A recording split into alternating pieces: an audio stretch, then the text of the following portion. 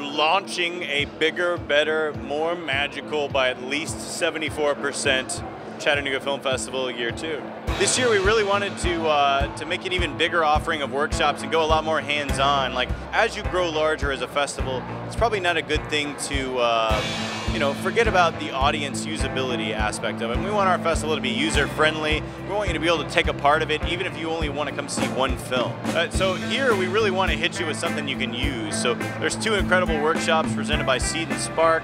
One teaching you how to crowdfund your film, you know, what you need to know to get your film out there. Another on the art of the pitch, uh, a class on documentary filmmaking, and a two-day workshop on acting taught by Pat Healy, who is, I think, one of our generation's greatest actors this year we tried to get as many folks as we could out here.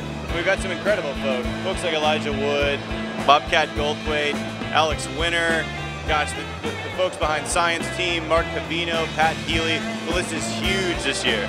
Gosh, our, our core team at CFF is incredible, and one of the things about this festival is you know, everybody says their film festival is a labor of love. Ours, it's, it's a group of people, none of whom see a dime for making this happen. People who just believe in film and wanted this to happen in Chattanooga. So we've had folks like Brian Hennon, who handles every bit of projection, every bit of tech. Brian Sinner, who manages our box office. Jan Bramlett, who handles our volunteers like a boss. Victoria Love, who's the greatest event planner in the history of mankind.